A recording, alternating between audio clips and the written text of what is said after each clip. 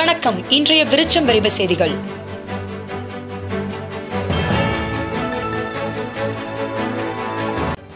NEET தேர்வை எழுதிய மாணவர்களில் ஓஎம்ஆர் விடைத்தாள்களில் முறைகேடு நடக்க வாய்ப்புள்ளதா என உயர்நீதிமன்றம் கேள்வி. இதனை குறித்து விசாரித்து அறிக்கை தாக்கல் செய்ய தேசிய தேர்வு முகமைக்கு சென்னை உயர்நீதிமன்றம் உத்தரவு. முதலில் ஐநூற்றி தொண்ணூத்தி நான்கு மதிப்பெண்களும் பின்னர் இருநூற்றி நாற்பத்தி எட்டு மதிப்பெண்கள் என இரு வேறு ஓஎம்ஆர் விடைத்தாள்கள் வெளியானதாக கோவையை சேர்ந்த மாணவர் வழக்கு. தற்காலிகமாக ஐநூற்றி தொண்ணூத்தி நான்கு மதிப்பெண்கள் என்பதே நீட் தேர்வு மதிப்பெண் என கணக்கீட்டு கலந்தாய்வில் மாணவர் பங்கேற்க உயர்நீதிமன்றம் அனுமதி.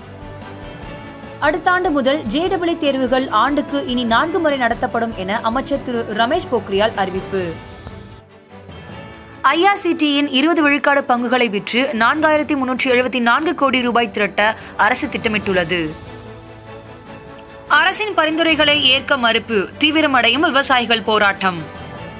ஆயிரம் ஆண்டுகளுக்கு முன்பே மக்கள் சபை நடந்ததற்கான ஆதாரங்கள் சென்னை அருகே உத்தரமேரூரில் கிடைத்துள்ளதாக பிரதமர் திரு நரேந்திர மோடி தெரிவித்தார். பொங்கல் பண்டிகைக்கு அரசு விரைவு பேருந்துகளில் பயணிப்பவர்கள் நாளை முதல் முன்பதிவு செய்ய வசதி செய்யப்பட்டுள்ளது. இரண்டாயிரத்தி இருபது இரண்டாயிரத்தி இருபத்தி ஒன்றாம் நிதியாண்டில் இந்திய பொருளாதார வளர்ச்சி எட்டு சதவீத சரிவை சந்திக்கும் என ஆசிய வளர்ச்சி வங்கி தெரிவித்துள்ளது. முன்பதிவு செய்யாமல் சபரிமலை வர வேண்டாம் என்று திருவிதாங்கூர் தேவஸ்தானம் அறிவித்துள்ளது.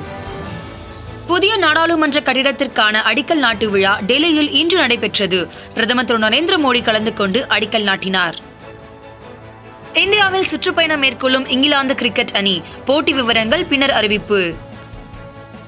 ஐசிசி டி டுவெண்டி தரவரிசை பட்டியல் டாப் டென்னில் இடம் பிடித்த இரண்டு இந்திய பேட்ஸ்மேன்கள் சர்வதேச ஒருநாள் கிரிக்கெட் பேட்ஸ்மேன்கள் தரவரிசையில் இந்திய அணியின் கேப்டன் விராட் கோலி முதலிடத்தை தக்க வைத்துக் கொண்டுள்ளார்.